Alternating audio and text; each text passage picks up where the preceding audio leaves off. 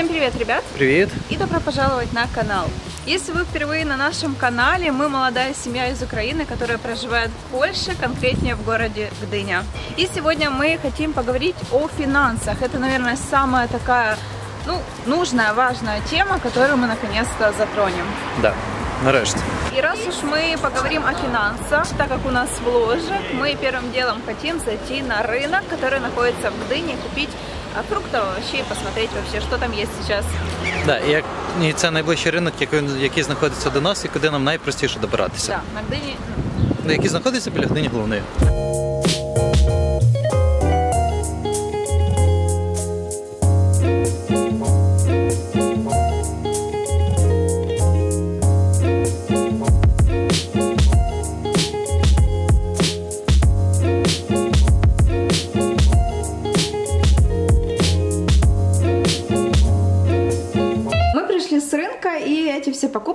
Нас на 60 злотых. Да. Наприклад, ми купили черешню, одна черешня коштувала 18 злотих за кілограм, а інша коштувала 14. Очень-очень все подешевело. Также очень классные персики нашли. 14 злотых за килограмм. Купили 4 штучки. Они мягенькие и, надеемся, очень сладкие. Также малинка 6 злотых. Огурцы сейчас 4 злотых килограмм. И клубничка от 8 до 10 злотых килограмм. Мы купили за 10. Також нам писали про те, що на ринках ціни йдуть трішки дорожче, ніж в магазинах, і тому є багато людей, які ведуть перевагу саме магазинам, тому що там дешевше. Але як ми вирішили, що все ж якість на ринках нам більше подобається, ніж в торгових центрах, навіть якщо за це доводиться трішки переплатити. Да, так как в Украине, наоборот, люди идут на рынки, чтобы немножечко сэкономить, а в торговых центрах у нас дорого. І звісно, те, що ми купили на ринку, нам на тиждень не хватить, тому ми йдемо ще за іншою їдою, але цього разу ми йдемо в Шан. Да, Ашан очень сильно люблю. Э, Там классные продукты. Да. Ну все, поехали в Ашан, как обычно. Так, взяли фильтр для воды 21 злотый. Мы пьем воду с фильтром, ну, фильтрованную воду. А, зашли на мороженые продукты. Вот есть раки. Сколько они стоят? 21 злотый. Взагалі не дорого. Да. Тим більше міді є. кальмары. В общем, куча всего мороженого. Что тут еще? Есть кролики, есть целые кролики. А, вот цены 33 злотых. В общем, и курица здесь недорогая. Вот курицу очень выгодно брать. Да, А, сколько? 9 злотых килограмм, есть вот за 6 злотых килограмм. А вот что в Польше очень-очень любят, это колбаски. Я не ем, не люблю. Они говорят вкусные. Многие берут наши знакомые и вот в Польше любят. Принципе, недорого. Также в Ашане можно выбрать помидорки за 2,18, а можно за 5,29. То есть уже как вам понравится. А ще за 6. А есть еще, еще за 6. То есть, ну, все зависит от вас и от... Андрей вот дорогие берет. Я ему говорю, бери дешевле. Нет. А так мы экономим. Проходили мимо отдела суши и застряли. Все-таки решили, что приготовим суши, так как мы красные рыбки на бутерброды купили, но все-таки решили взять еще э, листы и все, чего у нас не хватает. Вот васаби. Так, и хотим порадовать нашего котика мокрым кормом. Какой он странный. Для котят? Ну да, он всегда такой только есть. А, Другие не берем. Берем, Так, держи. Так, дальше обязательно траву ему берем. Сколько тут стоит? 12 злотых. Это у нас почти каждую неделю покупается. И самое главное, это раз в месяц мы покупаем большой наполнитель для Декса. Сейчас какой? А, вот такой мы покупаем. Сколько? Э, Это 5 килограмм? 10? 10 літрів. А, да, 10 и стоит 33 33 злотых. Чё, халюська? Кс-кс-кс. Почему мальчик? Чего ты? Чего? Скучал? А мы вернулись с Ашана, и покупочек у нас на 160 злотых. Нам на неделю этого не хватает, то есть все равно мы будем докупать крупы, потому что купили только макароны, это рис на суши, овсянку на двоих каждое утро мы кушаем, мы делаем гранолу.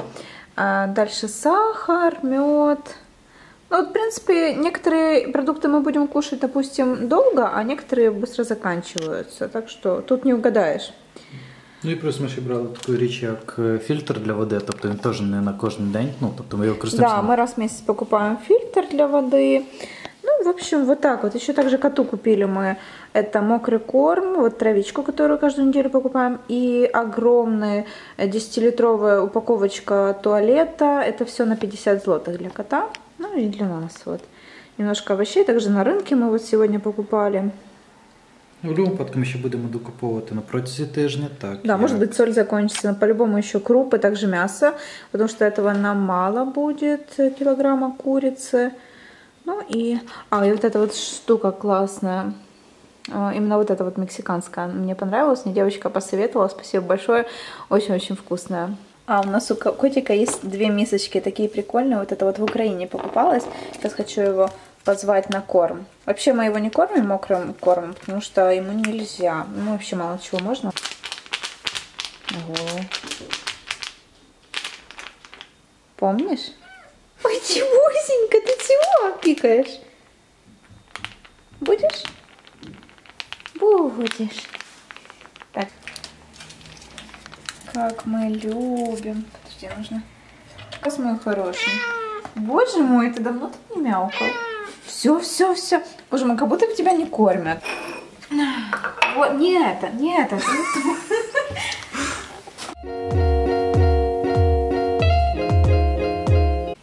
сегодня мы бы хотели разобрать такую тему, как финансовую сторону в Польше. Это самый часто задаваемый вопрос, оно и понятно, потому что все, кто хотят переехать жить в Польшу или заработать в Польше или учиться в Польше, естественно, интересует одно, это сколько мне хватит, э, чтобы прожить, нормально прожить или заработать. Ну, то есть эт- этот вопрос нас задают очень-очень-очень часто.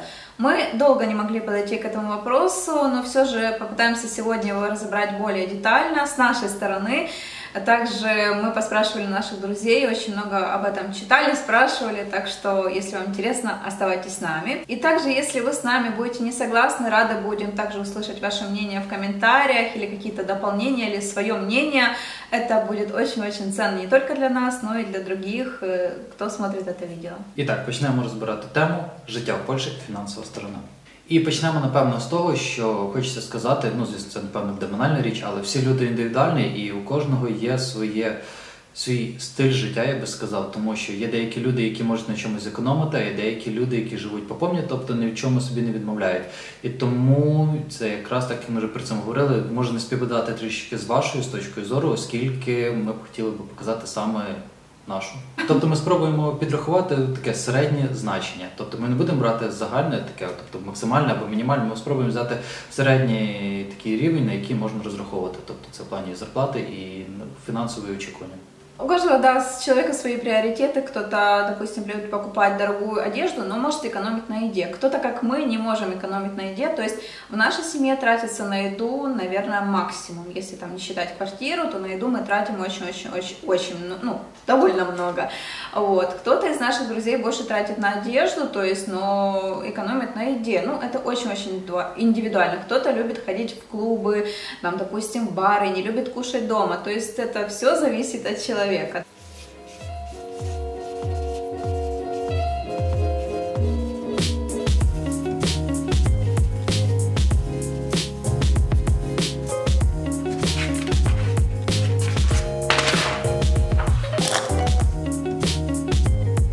Хотів би також сказати, що ми будемо розповідати саме про людей, які приїхали сюди жити. Тобто не на заробітки на там півроку, а приїхали саме для того, щоб починати нове життя тут. Да, и будем говорить мы о двух взрослых э, людях с ребеночком. А почнемо, напевно, з питання, яке тривожить найбільше всіх людей, це квартира. Це, напевно, найболючіше. І я думаю, мінімальна сума на квартиру, яку можна знайти в тримесці, це буде складати в районі 2000. Це вже разом з комуналками. Можливо, там буде на злотих 50, можливо, на 100 дешевше, але я не думаю, що це буде сильно відрізнятися від самої цієї суми. Также основное это продукты. А в среднем, как мы узнавали, семья тратит на продукты в месяц 1000 злотых. Это на троих людей, это значит 250 злотых в месяц. Это минимум. Э, Также это бытовая химия. Это порошки, зубная паста, шампуни, мочалки, абсолютно-абсолютно все, что сюда входит, это примерно в месяц будет ну, от 80 злотых до 100 злотых на бытовую химию. На бытовую химию действительно очень много денег входит, она очень дорогая. Також би хотілося сказати декілька слів про проїзд. Будемо відштовхуватися від того, що середній проїзний буде коштувати в районі 85 злотих. Да, і візьмемо це на скільки? Це на одну людину, Але якщо візьмемо на двох, це буде десь в районі 170 злотих. Якщо ж ви захочете подорожувати, наприклад, із кемкою, і вам потрібно їхати спочатку кінця Гдині і закінчуючи Гданську, то вам потрібно буде платити в районі 130 злотых за людину. То есть лучше всего это, конечно, сэкономить на проезде и искать квартиру ближе к тому месту работы, потому этих трат у вас просто не будет. Навіть якщо жити біля роботи і все одно подорожувати, вам все одно обійдеться якихось злотих 30 або 40 в місяць. Да, если даже разовые билетики, все равно 30 Мы пробовали злотых. одного раза. Да, мы так пробовали, все равно куда-то едешь, все равно куда-то нужно поехать в какое-то место другое. Далее это у нас идет обязательно сотовая связь. Візьмемо, напевно, по мінімуму по 20 злотих на людину. Да, и если возьмем троих человек, это будет 60 злотых. Но мы платим а, больше. Сколько мы У платим? нас виходить більше через те, що ми більше користуємося інтернетом, так як у нас вдома поганий інтернет, нам приходиться спасатися трішки Да, мобільним. да. Далее это парикмахер. Мужская стрижка стоит в районе, э, самая дешевая, это 20 злотых, в лучшем случае до 35, ну и выше, выше, выше, может быть, как бы минимум, ну возьмем среднее, это пусть будет там 30 злотых за парикмахерскую. А, Также мы не берем во внимание женские услуги, маникюр, ресницы и такое прочее, прочее. А, Допустим, я без этого обхожусь и как-то не знаю, сколько они там стоят. Ну, в общем, мы берем минимум такой, который нужен для жизни. А это уже у нас будет как дополнительные траты.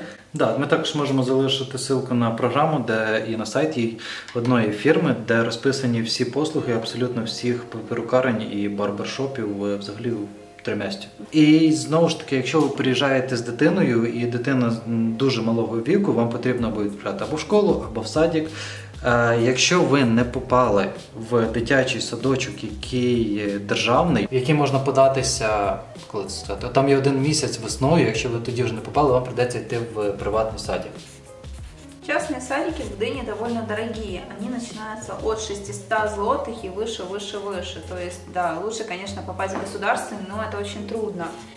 То есть мы возьмем в среднем это 600 злотых. Тобто 600 плюс, я би навіть сказав, все залежить від садика. Если у вас есть машина, вы переехали с машиной или купили здесь, приобрели, мы возьмем во внимание это бензин.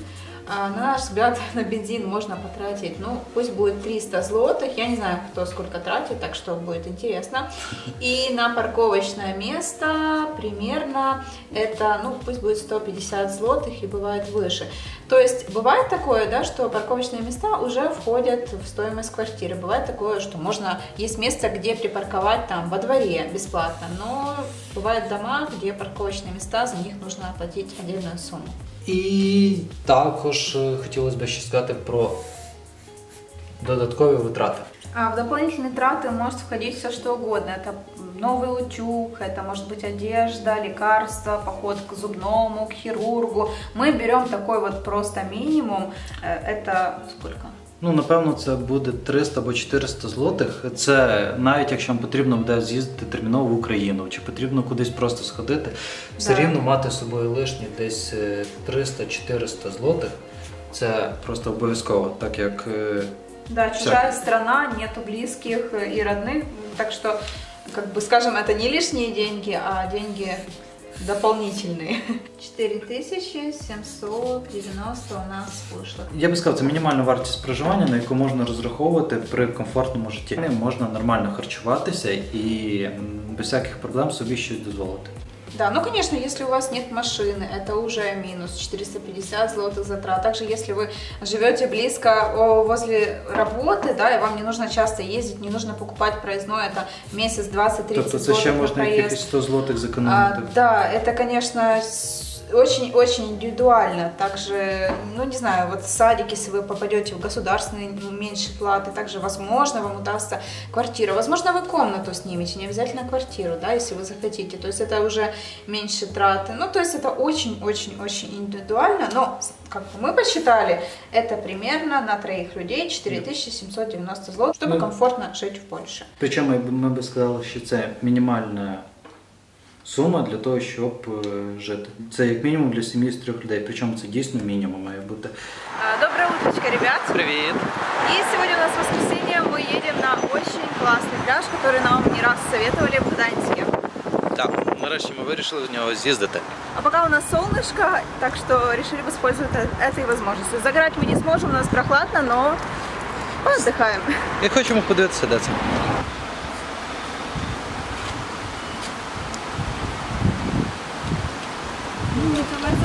Женя. И вот наши траты на проезд. За месяц мы берем троймейский билет, то есть по три города на СКМ. Стоит он 130 злотых, и ну, на двоих, то есть это 260 злотых в месяц у нас на проезд. Но мы решили, можно от станции до станции это будет дешевле, правильно? Да, але ми часто катаємося в сторону Гданська або далі, чим ми, наприклад, в Гдині, тому нам потрібні квиточки на все три місяці. Да, нам так выгоднее, то есть мы посчитали, нам так намного выгоднее, чем брать билетики по- ну, поштучно.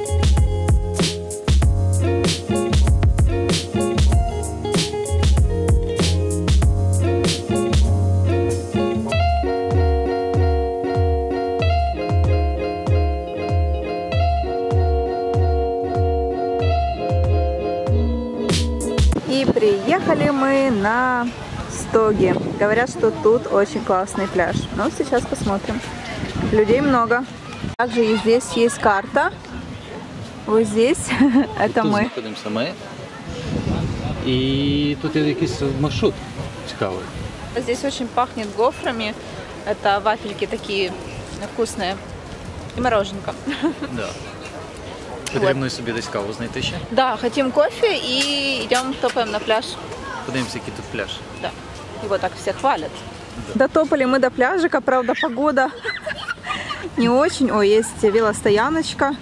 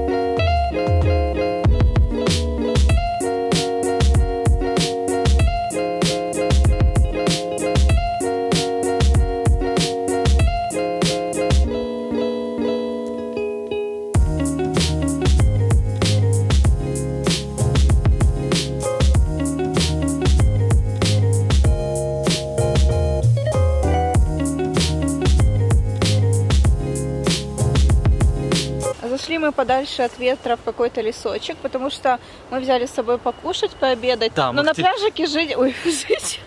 Но на пляжике кушать просто невозможно, потому что засыпают песком. В общем, нашли мы лавочку, расстелили а, одеяльце и будем кушать. Ну что, приятного аппетита всем, кто сейчас кушает. Будем лопать домашние суши. И правда, на море вида нет, но все равно. Привіт! И еще несколько слов хотим сказать о финансах. А Кто бы что вам ни говорил, кто бы сколько ни прикидывал, сколько нужно для жизни, сколько хватит и не хватит, все индивидуально, все зависит от вас и нужно пробовать.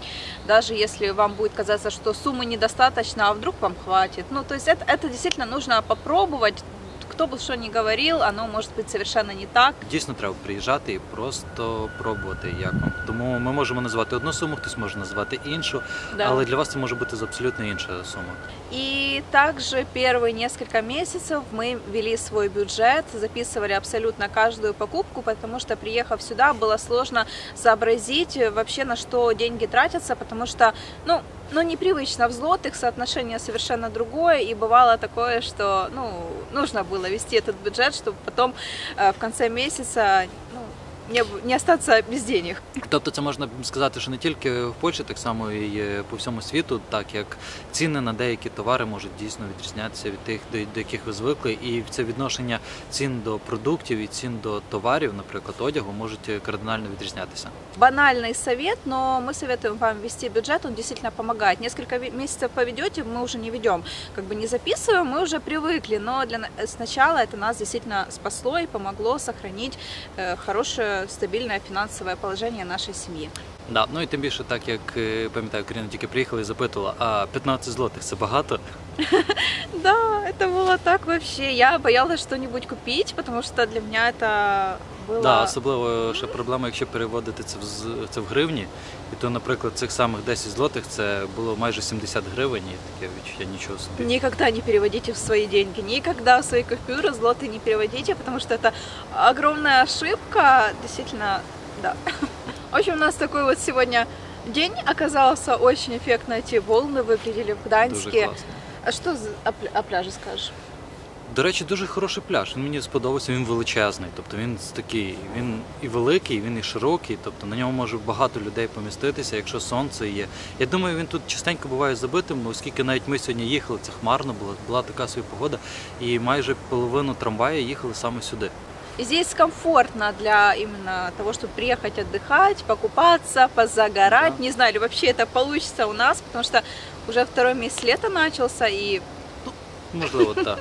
А также по поводу продуктов, хотим сказать, что мы когда-то зимой снимали недельку продуктов. У нас есть видео, сколько мы тратим неделю. Мы оставим ссылочки на эти видео внизу. Очень хорошо сориентироваться. Это и нас ориентировало немножко, сколько мы тратим. Но зимой это было около 50-60 долларов, да? Да, десь так. А сейчас мы тоже себя проконтролируем. Мы хотим снять т- точно такое же видео, но уже летний вариант, сколько мы тратим, потому что уже даже самим интересно, так как продуктам мы уделяем больше всего внимания. То есть продукты у нас, наверное, на первом месте. Да. Тим більше зараз як літо, і зараз от вже трошечки інші продукти ми беремо, ніж ті, які брали зимою, тобто ми більше намагаємося фруктів їсти. Ще й зимою ми їли багато, але зараз уже такі сезонні більше фрукти, черешні, наприклад. Да, так что мы обязательно снимем недельку продуктов. А пока едем домой. Да, потрібно додому йти.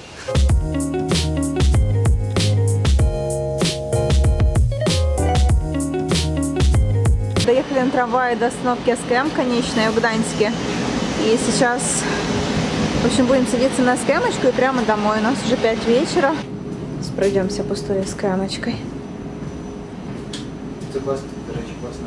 тут є рецепт. Да, это хорошая СКМка. Есть немножко похуже, есть даже получше. Но в основном хорошая. Вот так. Наша постоянная рубрика – это готовка с колесниками. Так как мы очень любим готовить вместе, так как наше маленькое хобби, потому обязательно показываем вам. Да. Сьогодні ми готуємо салат Цезар. Ось перед вами якраз знаходяться всі інгредієнти, які ми будемо використовувати. Курица у нас обжарена на сухой сковородочке. То есть сначала я добавила водички туда, она себе э, на сковородочке кипела-кипела, потом водичка выкипела, и она поджарилась. То есть ни капли масла здесь нет, и она довольно такая не сухая, потому что она как бы варилась в водичке. А дальше это салат айсберг, сметанка, помидорки черри, вот такой вот сыр в Ашане купили.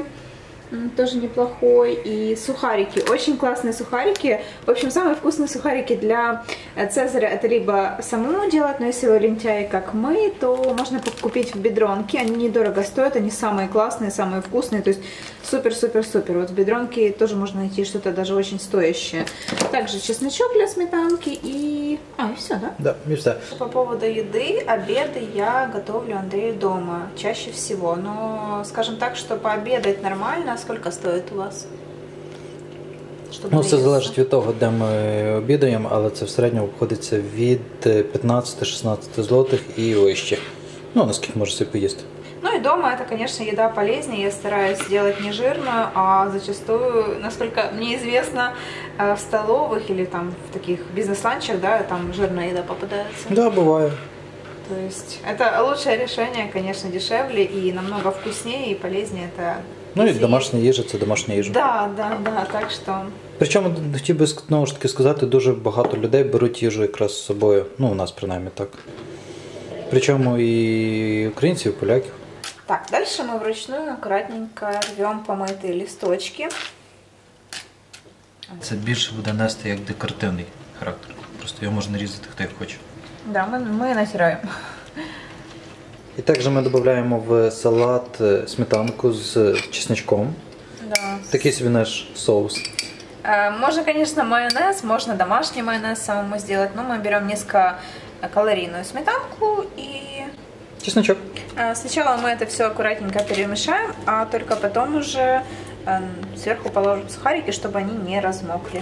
Зверху ми додаємо уже сухарики. Конечно, этот салат не пойдет на конкурс «Самый красивый салат в мире», но он самый вкусный. І корисний. Да, и полезный, кроме сухариков. Серйозно? Я думав, сухарики корисні. Не. Моє Смотря з життя і якого мої хліба. стереотипи рушаться прямо на очах. Все, думаешь? Сухариков. Да, я думаю, все. Ну все, приятного аппетита. Смачного! И на этом, пожалуй, все. Ставьте пальчики вверх, подписывайтесь на канал, задавайте вопросы, оставляйте комментарии. И пока-пока, до новых встреч совсем скоро. Па-па!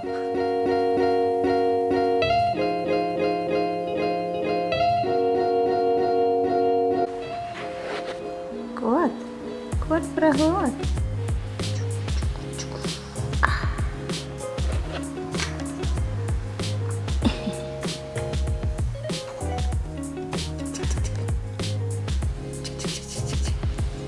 Чего, Коль? Чего? Что там увидел? Что там? Разберись.